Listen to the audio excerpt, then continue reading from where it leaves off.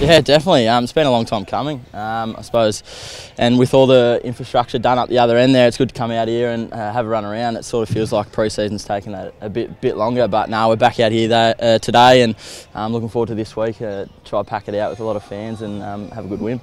How do you feel like your form is heading into North Melbourne? Yeah, not too bad. I suppose we've been improving um, week in, week out.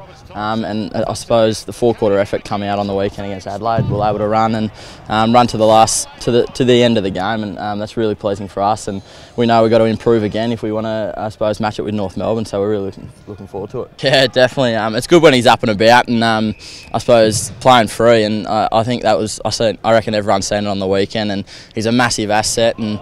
Um, he's, I suppose he creates a bit of havoc for the other teams, which is good for us. And um, he's very good, I suppose, for myself as well when I'm playing forward line. He's very instructional and he's always communicating. It makes it a lot easier for me when I'm out there. If he's there creating a, a creating a pack, I suppose two or three are going to him, and I'm able to get to his feet if he's not able to mark it. And um, I suppose it helps us young, young, um, small forwards out. And um, and yeah, it just creates a bit of havoc, and we're able to press from there.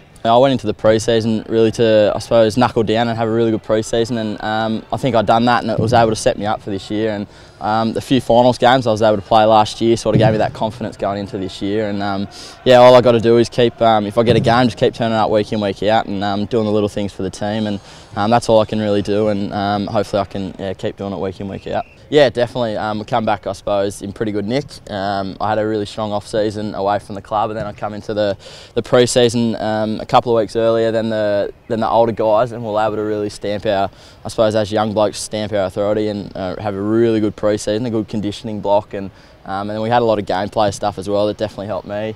I suppose it helps you with the game plan and um, and then the match fitness as well. So yeah, I, I was lucky enough to um, not get any injuries through pre-season as well, and it, and it helps massively. I actually grew up following North Melbourne. Um, coming from Wagga, I love watching Wayne Carey, and Brent Harvey was actually one of my favourite players. And um, in my first year, I actually got to play on him in the NAB Cup, and it's pretty surreal to actually run, I suppose, run beside him. So, um, but no, it's he's had an amazing career, and he's yeah, he's, he's still he's still got it. So we're definitely gonna have to look out for him this weekend, and um, yeah, he's to do what he's done, it's been pretty amazing and only a few have done. So we're looking forward to this weekend, first game for the year um, at the SCG, so hopefully we get it packed out um, with red and white and um, hopefully put on a show for them because it definitely gives us, an, I suppose, an extra leg and we're able to I suppose, run out games when the, when the fans are up and about, and um, it definitely lifts you a lot um, during the game. Uh, we're really looking forward to this week. It's another massive challenge after their few weeks they've had, so um, the boys are really looking forward to it. We're going to have a strong week this week, and then um, come here Sunday, hopefully with a packed crowd, and really rip in.